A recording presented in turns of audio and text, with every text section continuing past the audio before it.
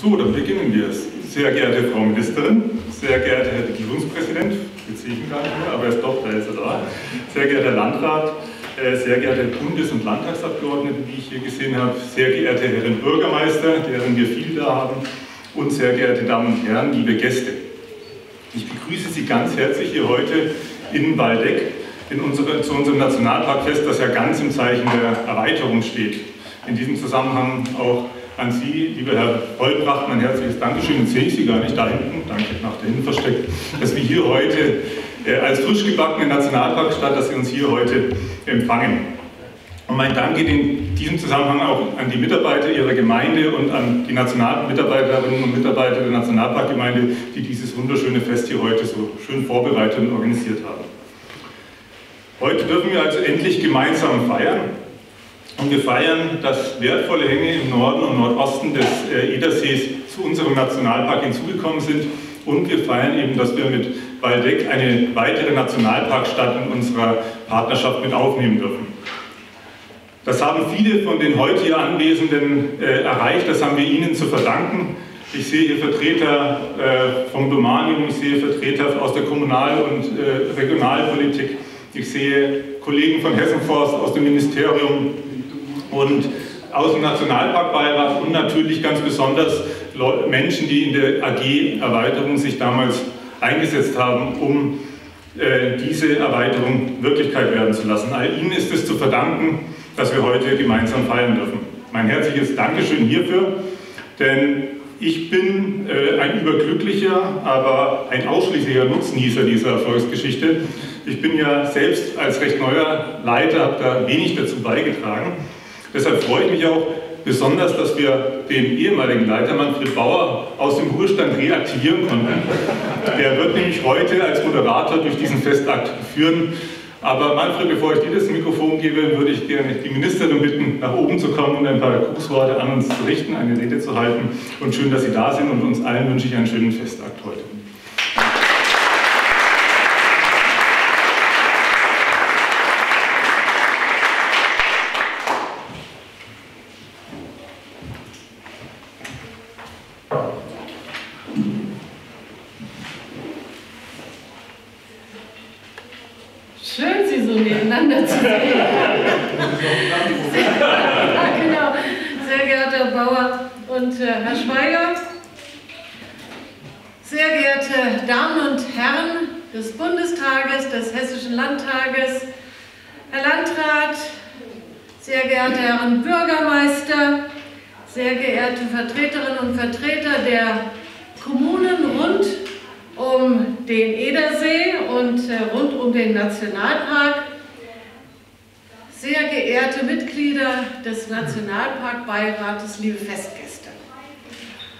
Wir haben hier heute richtig was zu feiern und wir haben richtig tolles Wetter dazu. Also normalerweise sagt man ja, das ist Kaiserinnenwetter, so würde ich das jetzt nennen. Ne? ähm, aber heute haben wir Nationalpark. Und ich finde, das haben wir uns auch alle redlich verdient. Es ist soweit und ich freue mich sehr, dass wir die Erweiterung des Nationalparks endlich feiern können. Rund 2000 Hektar Meer voller einzigartiger Naturschätze nördlich und östlich des Edersees gehören jetzt dazu. Und deswegen dieser offizielle Festakt, den wir um knapp anderthalb Jahre verschieben mussten. Also die Pandemie hat uns einen Strich durch die Rechnung gemacht, dass wir das äh, fristgemäß machen konnten, aber ich glaube, das tut unserer Freude keinen Abbruch. Es ist trotzdem toll, dass wir das geschafft haben und dass wir es feiern können und ich möchte äh, mich herzlich bei Ihnen bedanken, weil Sie alle sehr engagiert sich an dieser Erweiterung beteiligt haben. Deswegen ist es auch Ihr Verdienst, dass wir heute hier zusammen können und feiern können. Was wir geschafft haben gemeinsam, ist ein großer Erfolg für den Naturschutz, für den hessischen Naturschutz, aber auch insgesamt für den Naturschutz. Bereits seit seiner Gründung im Jahr 2003 schützt der Nationalpark Kellerwald-Edersee einen der letzten großen zusammenhängenden Buchenwälder Mitteleuropas. Mit der Erweiterung im Herbst 2020 gehören mit den Edersee-Steilhängen nun etwa auch der älteste Traubeneichenwald Deutschlands an der KNH sowie die Blockwälder an der Hünselburg dazu. Auf fast 7700 Hektar darf jetzt Natur Natur sein. Denn der Schutz der unberührten Natur ist eines der wichtigsten Aufgaben des Nationalparks.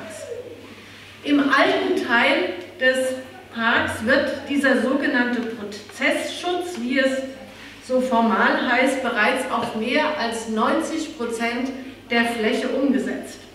Und viele von ihnen waren nicht nur einmal oder zweimal, sondern mehrfach, teilweise hundertfach im Nationalpark, im alten Teil des Nationalparks, ist, ihnen, ist dort äh, gewandert und kennt ganz viele Ecken dieses Nationalparks. Und auch ich war natürlich schon mehrfach hier. Und ich muss sagen, mir geht immer das Herz auf, wenn ich hierher komme. Es gibt kaum, also ich bin ja jetzt ähm, Umweltministerin, Naturschutzministerin für ganz Hessen, ja, deswegen finde ich ganz Hessen natürlich grandios, ja, logischerweise. Aber trotzdem muss ich sagen, dass der Nationalpark Kellerwald-Edersee ein besonderes Kleinod ist. Er ist eine, ein ganz besonderer Teil Hessens, nicht nur naturschutzfachlich gesehen, sondern auch, weil man so gut entspannen kann, weil man so viele Dinge sehen kann, so viel Natur sehen kann, so viel Flechten, Pflanzen, Tiere, die man eben sonst nicht aus der Nähe kann. Und viele von Ihnen haben diese Entwicklung des Altteils des Nationalparks natürlich über die Jahre hinweg auch gut mitbeobachtet.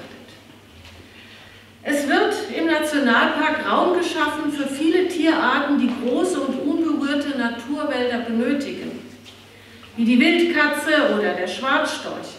Selbst Urwaldreliktarten wie der veilchenblaue Wurzelhalsschnellkäfer ist dort zu sehen. Und wenn Sie mal bei Regenwetter hier eigentlich auch was sehen wollen vom Nationalpark, aber nicht unbedingt raus in die Wildnis, dann schauen Sie sich bitte den neuen 4D-Film an. Der ist wirklich klasse. Und Sie können dort den veilchenblauen Wurzelhalsschnellkäfer betrachten, den Sie sonst in der Natur nicht finden würden. Den gibt es zwar, aber der ist so scheu und so klein, den sehen Sie in der Regel nicht. Aber er konnte gefilmt werden und äh, in dem Kino ist es wunderbar zu sehen, äh, wenn auf der Spur der Wildkatze, wenn man durch den Nationalpark geführt wird und äh, dann diesen besonderen Käfer sehen kann. Meine Damen und Herren, in ganz Deutschland gibt es nur 16 dieser besonderen Schutzgebiete, wie wir ihn mit unserem Nationalpark haben. Teile unseres Parks gehören sogar zum UNESCO-Welterbe Buchenwälder. Das zeigt uns die besondere Bedeutung unseres Schutzgebiets für den nationalen und internationalen Naturschutz und die besondere Bedeutung, die wir in Hessen für die Buchenwälder haben.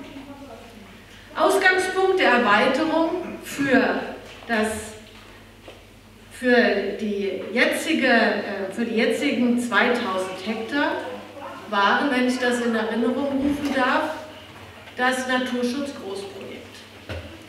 Vor vier, fünf Jahren hätten wir uns noch nicht gewagt zu denken, dass daraus eine Nationalparkerweiterung wird. Weil wir alle haben noch ein bisschen in Erinnerung, wie das zu Beginn war, als überhaupt ein Nationalpark in Hessen ausgewiesen werden sollte.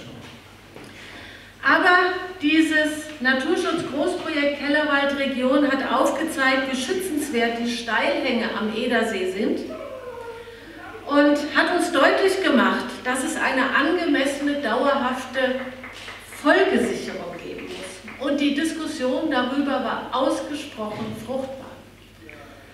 Und da möchte ich mich bei Ihnen allen bedanken, dass es so geklappt hat. Anfang 2019 hat die Landesregierung dann beschlossen, wir machen die Nationalparkerweiterung, wir gehen es an im Einklang mit der Region. Die Region muss wollen, muss mitmachen.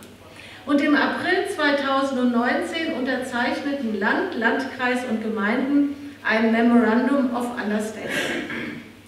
Und die gute gemeinsame Zusammenarbeit setzte sich im gesamten Prozess fort. Gemeinsam ist es gelungen, die vielfältigen, ja unterschiedlichen Interessen, die es logischerweise gibt, rund um so ein Schutzgebiet oder ein Gebiet, das ein Schutzgebiet werden soll, die ähm, haben wir zusammengebracht. In dieser Arbeitsgruppe Nationalparkerweiterung waren ganz viele Menschen unterschiedlichster Interessensgruppen und wir haben im Rahmen von Vorortterminen und Infoveranstaltungen den Prozess ganz partizipativ gestaltet.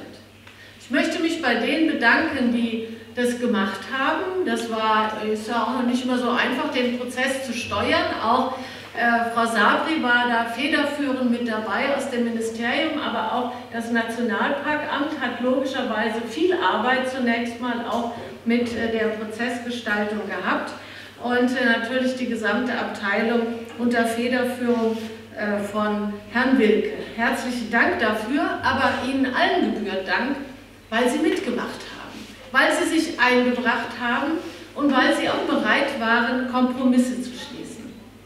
Die Erweiterungskulisse und die Neufassung der Nationalparkverordnung konnte deshalb zügig und mit breiter Akzeptanz entwickelt werden und schon im Herbst 2020 haben wir innerhalb des Kabinetts die neue Verordnung beschlossen. Das ist echt rekordverdächtig für ein solches Gebiet mit einer solchen Schutzfunktion.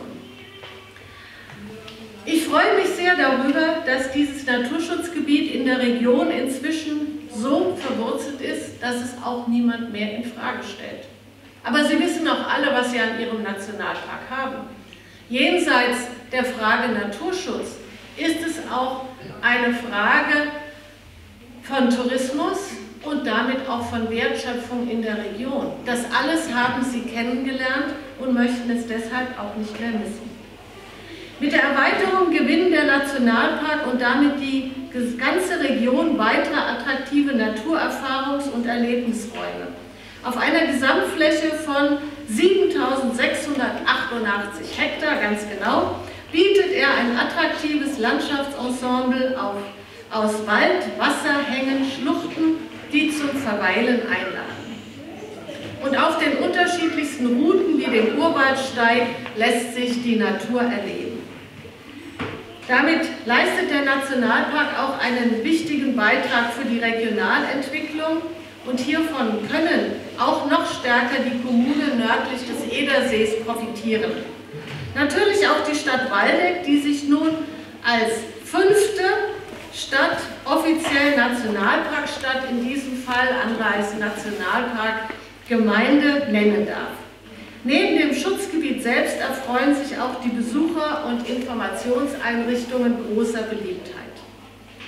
Und zur Förderung der Regionalentwicklung und eines sanften Tourismus arbeitet die Nationalparkverwaltung eng mit der Region zusammen.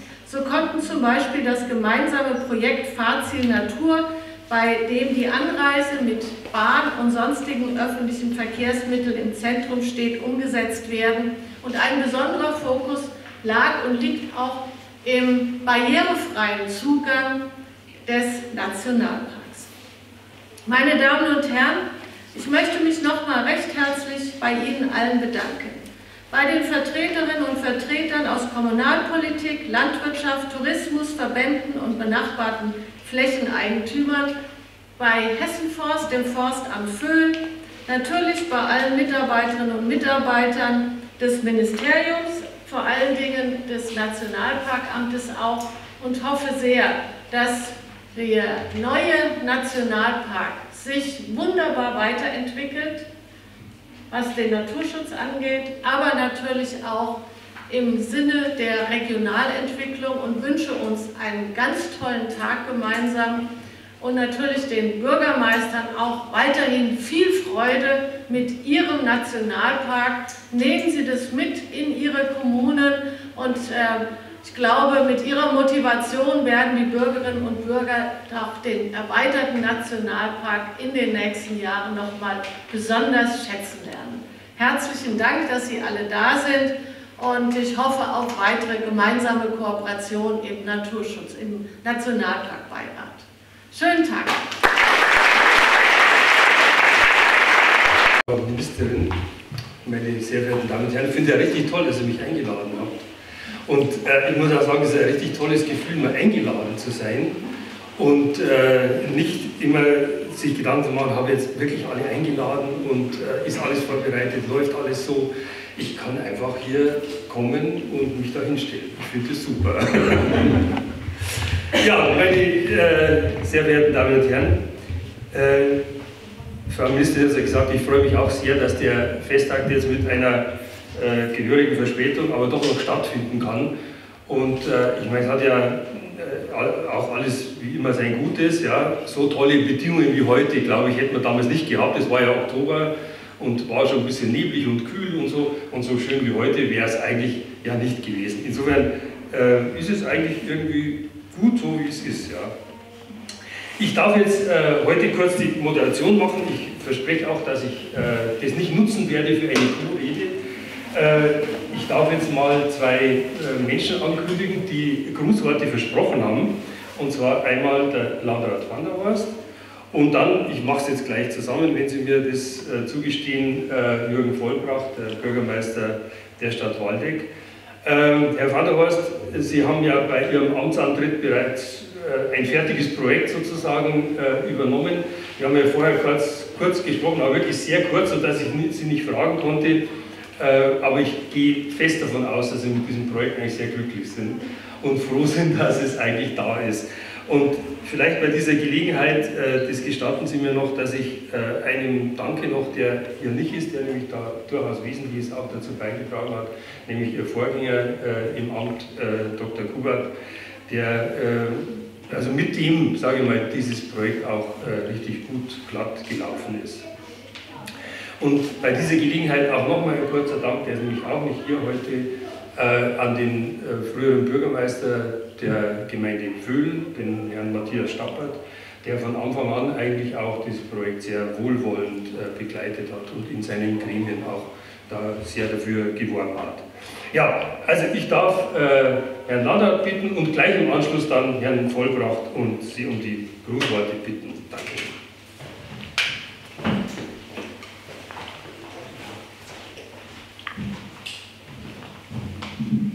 Ja, sehr geehrter Herr Bauer, Sie sehen durchaus einen zufriedenen und äh, sehr glücklichen Landrat, der heute zu Ihnen sprechen darf, zu einem ganz tollen Fest. Äh, Frau Staatsministerin Hinz, meine sehr verehrten Damen und Herren Bundestags- und Landtagsabgeordnete, Herr Regierungspräsident, sehr verehrte Herr Bürgermeister, sehr verehrte Mitglieder des Beirates, meine sehr verehrten Damen und Herren.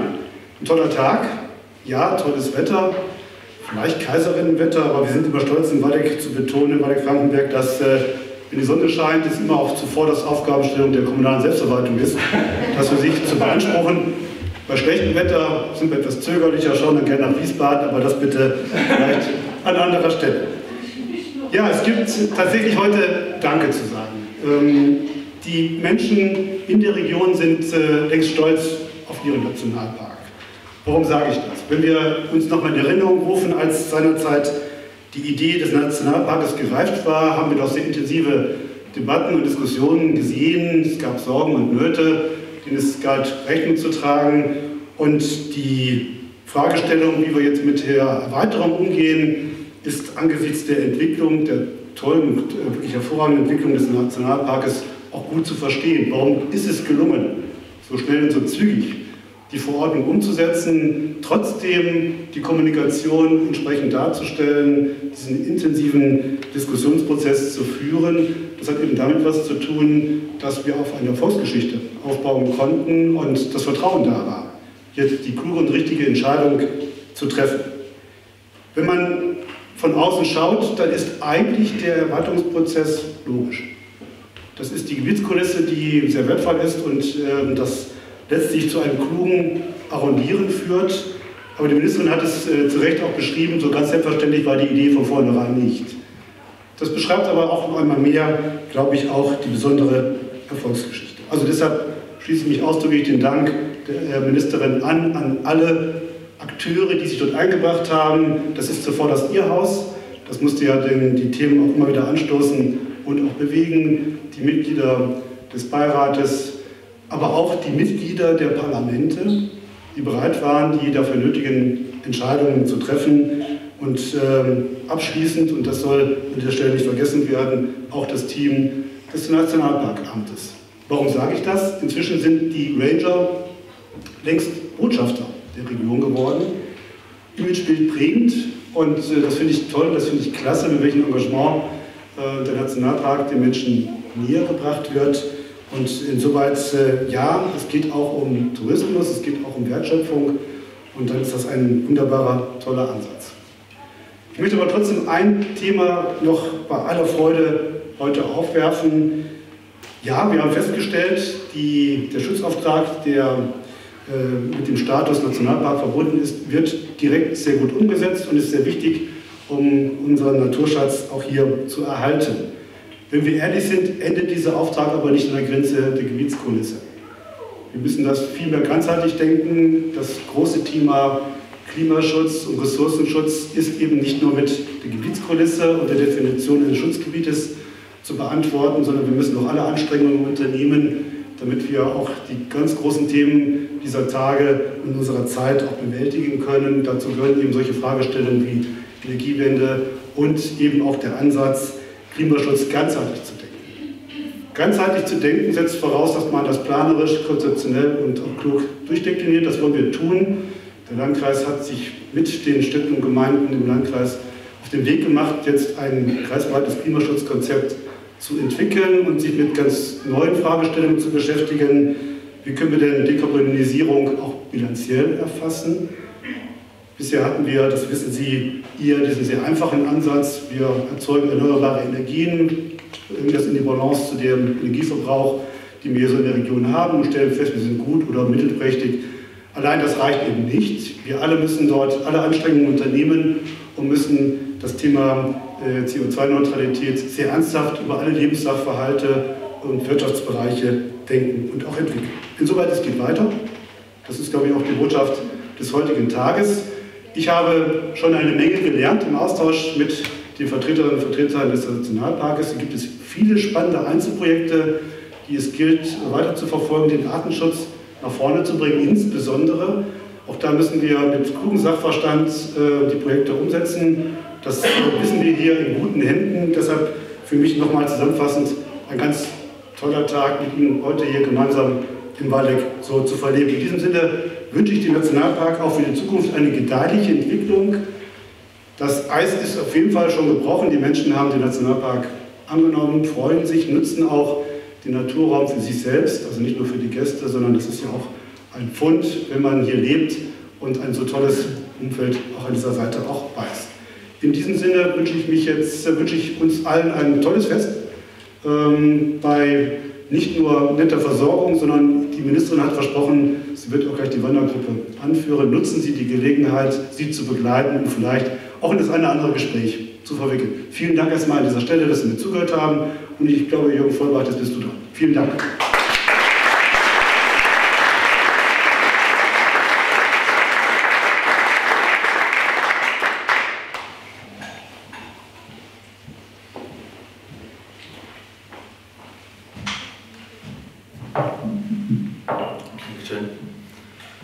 sehr geehrte Ministerin Hinz, lieber Regierungspräsident, lieber Marc, sehr geehrter Herr Landrat, lieber Jürgen, sehr geehrte Ehrengäste, ich würde sagen, ich bin stolz darauf, dass wir das geschafft haben. Es war ein sicherlich weiter Weg. Das eine oder andere lief von Anfang an wirklich sehr rund. Und da muss man auch sicherlich nochmal ganz herzlich Danke sagen an die Mitglieder der AG. Ich sehe die Frau Sabri da hinten, die hat sich da extrem eingebracht und wirklich da sehr gut vorbereitet. Auch Ihre Kollegin, die Frau Frein, herzlichen Dank an dieser Stelle, denn das waren die Akteure, die da im Hintergrund ganz viel gearbeitet haben, aber sicherlich auch der Herr Wilke hier. Herzlichen Dank dafür. Ich bin wirklich froh, dass diese knapp 2000 Hektar, ich sage immer, das ist das schönste Fleckchen, was wir in Deutschland haben, weil ich weiß nicht, ob Sie vorhin mal hier oben auf der Terrasse gewesen sind, auf der Aussichtsplattform. Wenn man in den Nationalpark schaut, man hat einen super guten Rundumblick in den Nationalpark, über den Nationalpark und da stellt man fest, dass wir hier in einer wunderbaren Region leben, die wirklich einmalig ist und ich denke, diese Region hat es verdient, auch aufgewertet zu werden, bekannter zu werden. Denn die Leute, die Gäste, die hierher kommen, die einmal hier waren, die sagen, hier kann man immer wieder was Neues erleben. Ich denke, da vor ein paar Tagen haben wir mit den Bürgermeistern ein Treffen gehabt in Asel und da sind wir zur schönen Aussicht äh, ein Stück gefahren, ein Stück gewandert und dann haben wir festgestellt, dass viele Bürgermeister die schöne Aussicht gar nicht kannten. Also stellt man fest, dass selbst die Leute aus der Region viele schöne Punkte hier gar nicht kennen. Und ich denke, diese Region, ja, die ist es wirklich wert. Ja, wunderschöne Aussichtspunkte. Und ich glaube, dass ja, diese Fläche, die dazugekommen ist in den Nationalpark, dass die Erweiterungsfläche der schönere Teil ist des Nationalparks. Weil, ich sage das einfach mal so voller Stolz, ich darf das auch als Waldecker-Bürgermeister sagen.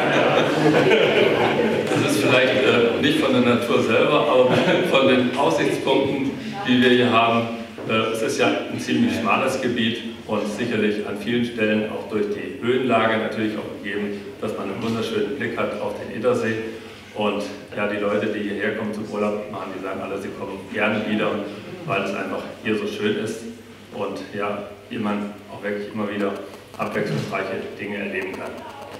Ja, ich soll auch herzlich grüßen von den Bürgermeistern. Wir haben eine wirklich sehr gute Zusammenarbeit hier in der Edersee-Region. Wir sind wieder zusammen in der Marketinggesellschaft und ich denke, das ist ein wirklich guter Schritt, diese Region voranzubringen und auch deutschlandweit auch bekannter zu machen. Nichtsdestotrotz möchte ich aber auch an diesem Tag so ein ganz klein bisschen Wein, äh, ganz klein bisschen Wasser in den Wein gießen. Wir sind ja Nationalparkstadt und im Namen der Nationalparkstadt spreche ich ja auch hier. Leider sind die Schilder noch nicht angebracht, woran es auch immer hängen mag, aber irgendein Hinderungsskript gibt es ja immer. Und ich denke, die Frau Ministerin, die hat es vorhin gesagt, dass wir von Anfang an ein gutes Miteinander da gepflegt haben. Und der Herr Wilke hat es ja auch festgestellt, wie holprig das manchmal in den Gemeindevertretungen ist. Es ist schon. Aber da muss man eben durch, muss man versuchen, ja, die Mehrheit noch mitzunehmen. Das gelingt auch in der Regel. Und ja, das ist auch schön, dass da wirklich eine Mehrheit sich dahinter gestellt hat und gesagt hat, jawohl, wir wollen das, wir wollen, dass diese Region Nationalpark wird und dass die Flächen da reinkommen. Flächentausch ist ja grundbuchlich noch nicht vollzogen, aber da sind halt noch ein paar Vermessungsarbeiten, aber dann sind wir da auch auf einem guten Weg. Ich wünsche mir ein gutes Miteinander, besonders im Bereich der Jagdgenossenschaften und der Jagdpächter. Da hört man immer wieder mal Kritik und ich glaube, diese Kritik darf an so einem Tag auch mal gesagt werden, dass wir da wirklich auch im Gespräch mit den Betreffenden bleiben müssen. Und ich denke, dann sind wir da auf einem guten Weg, dass wir die Region weiterentwickeln zum Positiven. Herzlichen Dank an dieser Stelle und allen noch einen wunderschönen Tag. Genießen Sie die Aussicht bei der Wanderung. Bleiben Sie an der einen oder anderen Ecke auch ruhig mal stehen, weil ich glaube, es lohnt sich. Herzlichen Dank.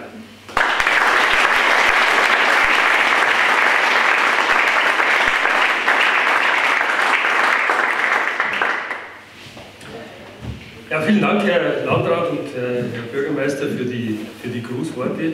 Und weil wir so gut in der Zeit sind, bin ich jetzt doch so dreist und erzähle noch eine Anekdote. Ähm, an dem Tag, äh, an dem das im Berchtesgaden in der Zeitung stand, dass ich hierher wechseln werde, hatte ich äh, Gäste des Nationalparks abzuholen an einer Pension. Und da stand die Pensionswirtin mit unseren Gästen da draußen und äh, da sah sie mich kommen und hat dann gesagt, naja, äh, Sie kennen ja das Ganghofer-Zitat, wenn Gott lieb hat, den lässt er fallen in dieses Land. Klammer, Berchtesgaden. Und dann sagt, macht sie so eine Pause und sagt, anscheinend hat er sie nicht lieb.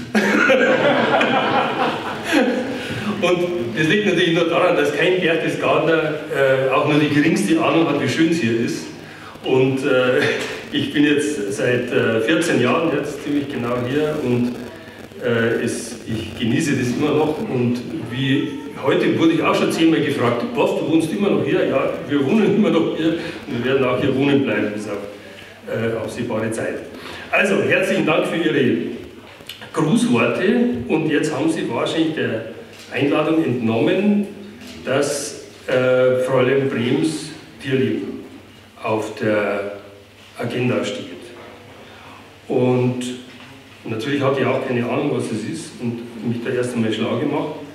Und Sie kennen ja alle Alfred Brehm und sein Tierlieben, entstanden im 19. Jahrhundert und das kennt eigentlich praktisch jeder, wenigstens dem Namen nach, weil es wohl im letzten Jahrhundert und in diesem Jahrhundert nicht so allzu viele Leute gab und gibt, die äh, sich mit den 5000 Seiten dieses Werks wirklich auseinandergesetzt haben.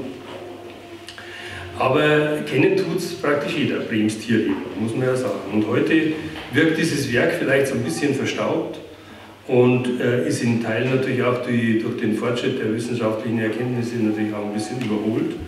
Aber es war damals äh, tatsächlich ein gewaltiger Schritt in äh, eine neue naturwissenschaftliche Herangehensweise und das Ganze auch zu popularisieren, überhaupt mal die Leute erst dafür zu interessieren, was da eigentlich alles so dahinter steckt. Und das hat äh, Barbara Geiger, das ist die Schauspielerin und Regisseurin und Gründerin dieser Theatertruppe zur Aussage inspiriert, Alfred Brehm ist der Shakespeare der Biologie. Schön, fand ich, fand ich richtig gut. Und Frau Geiger und Fräulein Brems Tierleben haben vor 14, 15 Jahren begonnen, einige äh, Themen und äh, Tierarten auf die Bühne zu holen. Und wenn ich es richtig sehe, liegen mittlerweile 15, na, 13 äh, Theaterstücke für die einzelnen Tierarten vor. Und das soll natürlich unterhaltsam sein, weil für nüchterne naturwissenschaftliche Bildung würde wohl kein Mensch ins Theater gehen. Aber es soll auch wissenschaftlich abgesichert sein. Und da steckt hinter diesen Stücken äh, eine ganze Menge gründlicher, intensiver und aufwendiger Recherchearbeit. Und diese Melange kommt aber dann sehr gut an. Und so ist die Truppe auch schon weit hinter die deutsche Sprachgrenze hinaus vorgedrungen. Es gibt nämlich schon Übersetzungen ins Englische, ins Französische, ins Italienische und sogar ins Japanische und Hindi. Und vielleicht sind es mittlerweile auch schon ein paar Sprachen mehr. Also, bitte? Ukrainisch. Ukrainisch gibt es auch? Ja, ja, ganz neu. Ja, ganz neu. Prima. Ja, also da ist das Internet ist zu langsam. Ne? Ist gut, dass wir Sie dann hier haben. Ja, wir freuen uns äh, auf das Stück. Äh, die Frau Geiger hat auch gesagt, das elfte Gebot lautet, du sollst nicht langweilen. Und daran halten wir uns, sagt Fräulein Brems Tierleben. Also ich wünsche Ihnen allen viel Vergnügen mit dem Stück Tierleben Felis Silvestris, die Wildkatze. Brems Tierleben und das Fräulein, das bin ich. Bitte, bitte fragt aber jetzt nicht, ob wir miteinander verwandt sind. Fest steht, ohne Alfred kein Fräulein. Aller Anfang liegt bei Alfred. Und genau wie Alfred Brehm schaut sich auch ein Fräulein Brehm Tiere ganz genau an. Die nun folgende Geschichte ist nicht frei erfunden. Jede Ähnlichkeit mit lebenden oder toten Kreaturen ist rein wissenschaftlich beobachtet und staunend zur Kenntnis genommen worden. Felis Silvestris Silvestris, die Wildkatze. Alfred Brehm sagt, unter den altweltlichen Katzen geht uns die Wild- oder Waldkatze, der Kuder, der Waldkater, der Baumreiter am nächsten etwas an, da sie die einzige ihrer Familie ist, welche selbst in unseren Landen noch nicht ausgerottet wurde und eine echte Europäerin ist. Lange Zeit galt die Wildkatze als die Stammart unserer Hauskatze, aber dem ist nicht so. Unsere gemeine Hauskatze stammt aus Ägypten. Eine getigerte Hauskatze und eine Wildkatze lassen sich nur schwer unterscheiden. Was meint ihr? Rechts oder links? Rechts. Rechts ist die Wildkatze. Ja, falsch. Es ist die Hauskatze. Wir haben euch ein bisschen reingelegt, weil die gerade ein Beutegreifer sichtbar ist. Ja, also ähm, deswegen fielen die Wildkatzen früher oftmals Abschüssen zum Opfer. Als vermeintlich wildernde Hauskatzen. Heute ist das zum Glück Vergangenheit. Aber ein verwaschenes Tarnfell ist einer Hauskatze nicht gegeben. Eine Wildkatze hingegen ist eine Meisterin der Camouflage.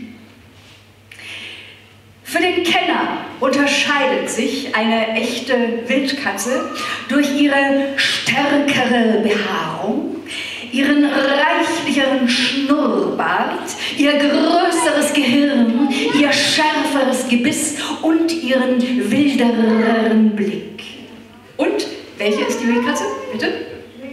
Links, richtig, genau. es ist so, eine hundertprozentige Sicherheit kann nur eine DNA-Analyse geben oder ein Vergleich der Darmlänge. Denn Hauskatzen, die haben wesentlich längere Därme als die Wildkatzen.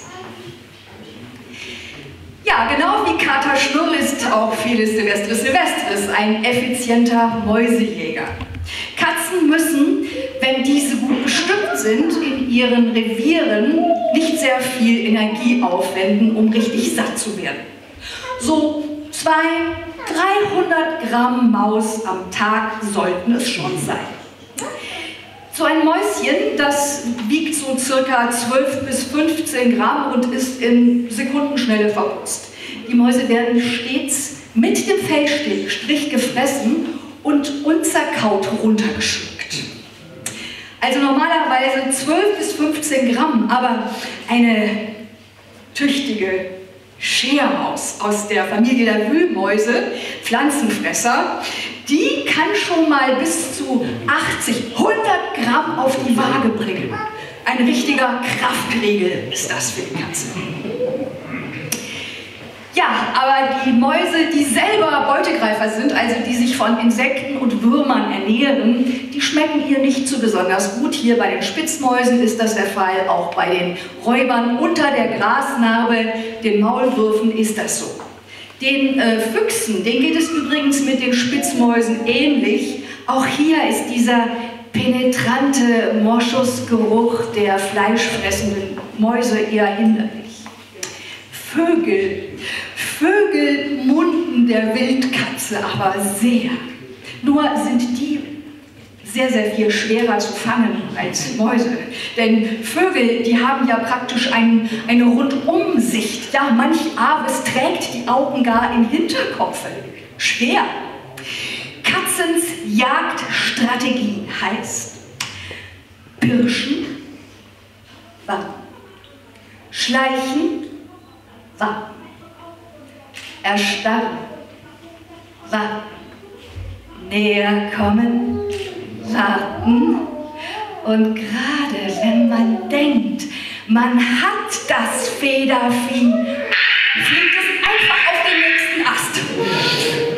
Also heißt es wieder lauern, kauern, erstarren. Kurz vor dem alles entscheidenden Sprunge verändert sich unmerklich ihre Körperhaltung. Und ja, Geduld muss man haben. Aber wer hat sie schon? Die Lauergeduld einer echten Wildkatze.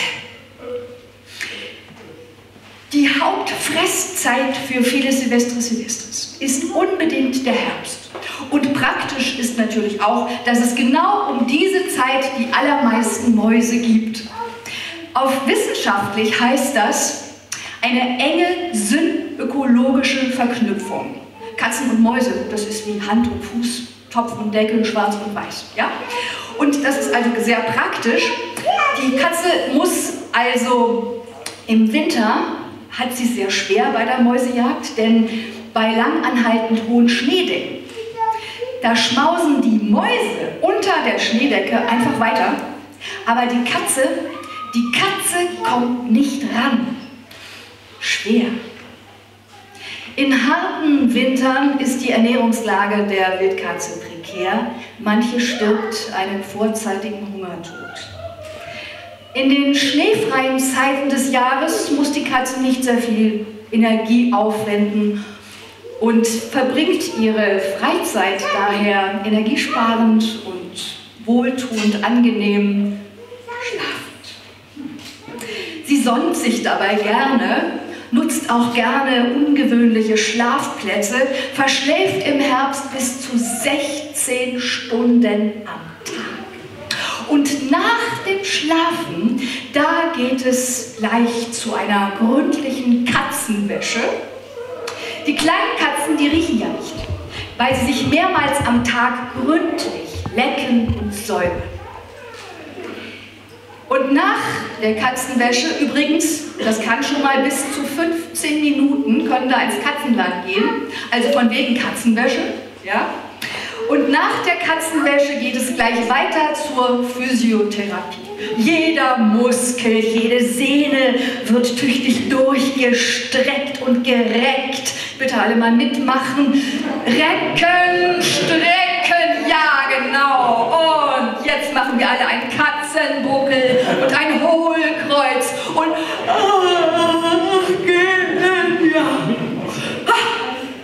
Schütteln Während des Jahres hören wir recht wenig von der Wildkatze. Das heißt aber nicht, dass es nicht ein eindrucksvolles Repertoire an Katzenlautäußerungen gäbe. Katzen können purren, knurren, schnurren, grohnen, reinen, fauchen, maunzen, singen, miauen. Und dann, gegen Ende des Winters, da kommt die Zeit, in der die Katzen liebestoll werden. Der Bruder wird unruhig und er streift weiter als sonst umher auf der Suche nach einer hübschen Katzenmaid. Und die Kätzin, die wird rollig. Von beiden Geschlechtern wird jetzt tüchtig markiert. Die wilden Katzen maunzen, was das Zeug hält.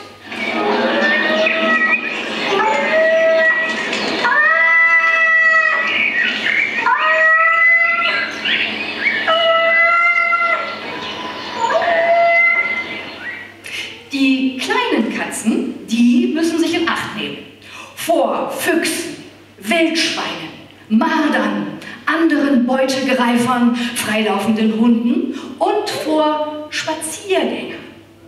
Diese sammeln die vermeintlich ausgesetzten kleinen Hauskätzchen auf, nehmen sie mit nach Hause und dann entpuppen die sich als unzähmbare Wildkatzen. Und die Folge ist aufwendiges Aufziehen in Auffangstationen und wieder Auswildern im Herbst. Katzen sind die reinsten Geruchsästheten. Baldrian sorgt für Hochgefühle und Katzenglück, vor allem während der Ramszeit. Und diese Vorliebe für markige Wohlgerüche macht sich die Wissenschaft zu eigen, um der Meisterin des Versteckspiels immer wieder auf die Schliche zu kommen. Ein grob gehauener Lockstock wird in den Boden gerammt, mit Baldrian besprüht und eine einsatzfähige Fotofallenkamera angebracht. Diese Lockstock-Methode, die ist nicht invasiv. Also die Tiere müssen nicht eingefangen oder gar betäubt werden. Nein, sie hinterlassen freiwillig genau das, was die Wissenschaftler wollen. Haare. Ja, und hat so ein Katzenkörperreiben stattgefunden, dann werden die Haare schön säuberlich abgezupft, in einen Umschlag verfrachtet, mit Datum, Fundort und so weiter versehen. Dann wird die Fotofallenkamera wieder flott gemacht, ausgewertet natürlich vorher. Und der Rest der Haare wird abgefackelt, das kann man hier ganz schön sehen. Ja, und schon ist die Falle wieder fängisch. Andere wollen sich auch verewigen. Bitteschön. Ich hoffe, ihr könnt es das von hinten aus auch sehen, was sich da tut.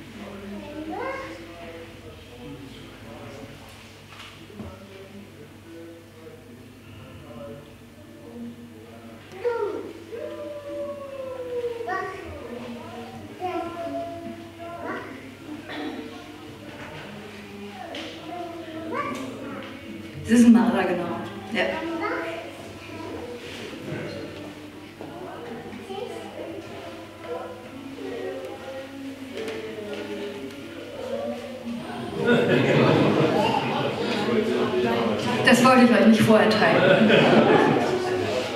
Es wird noch besser.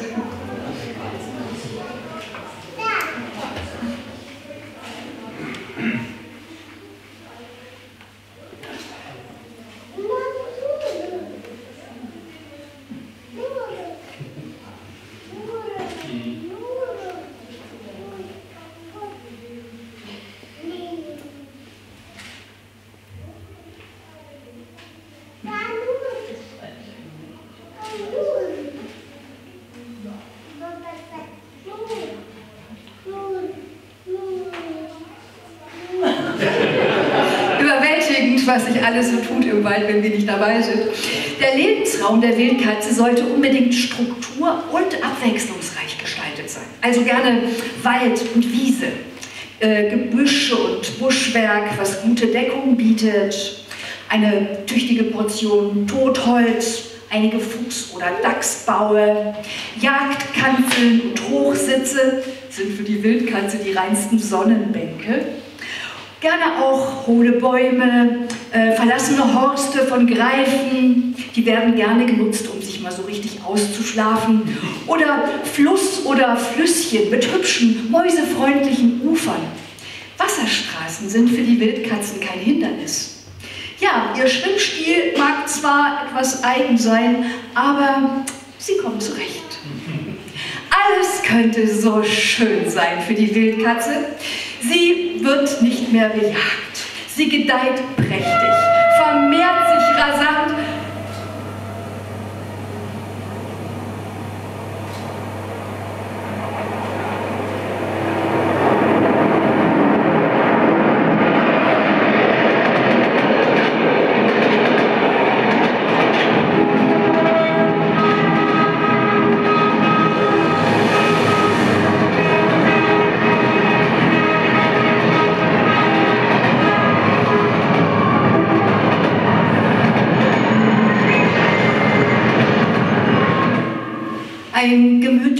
Wildkatzenwohnzimmer sieht anders aus.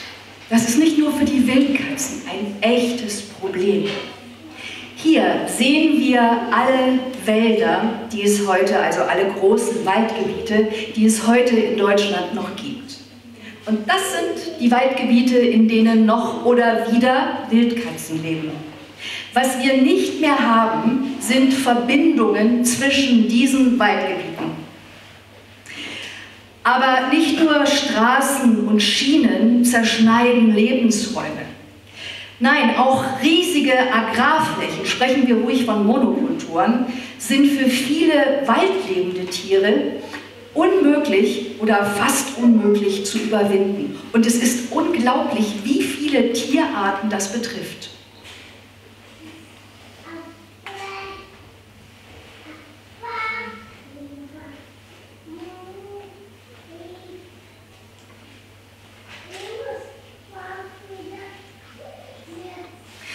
Mehr grüne Brücken braucht das Land.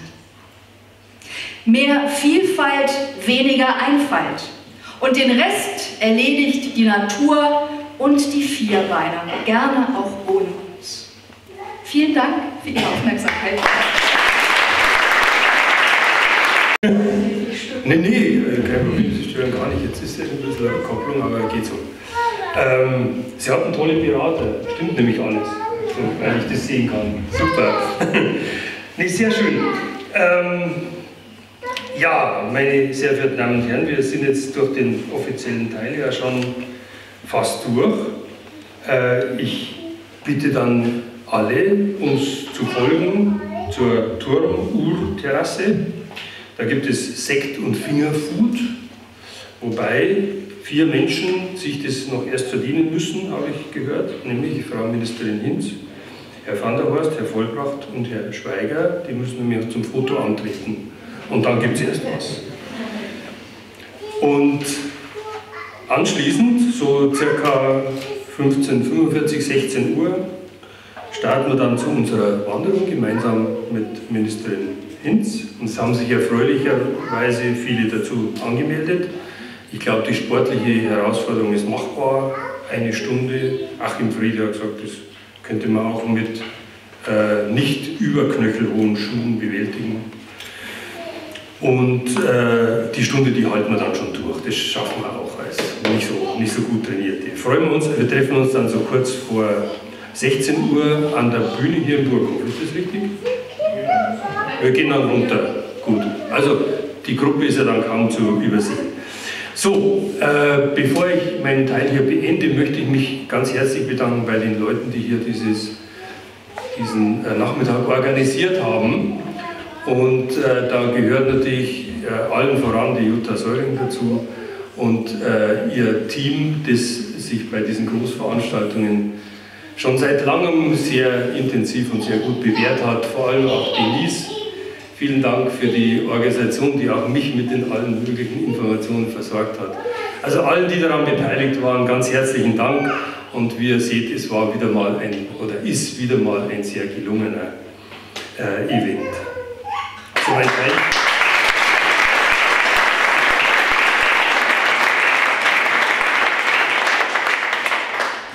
Mein Teil ist damit beendet. Ich hatte äh, ursprünglich überlegt zu sagen, mein Teil ist vollbracht, aber das habe ich dann doch, doch noch geändert. Ich danke Ihnen allen fürs äh, Kommen und wünsche Ihnen noch einen wunderschönen Tag. Genießen Sie das Programm, das Wetter, das Angebot und bleiben Sie unserem Nationalpark weiterhin gewogen. Wandern Sie, äh, genießen Sie und äh, freuen Sie sich auch ansonsten des Lebens, was ja jetzt wieder etwas leichter fällt, nachdem äh, Corona doch so ein bisschen in den Hintergrund getreten ist, auch wenn andere Nachrichten äh, aus der Welt nicht so erfreulich sind. Gut, also ganz herzlichen Dank fürs Kommen, für Ihre Aufmerksamkeit und wie gesagt, einen schönen Tag.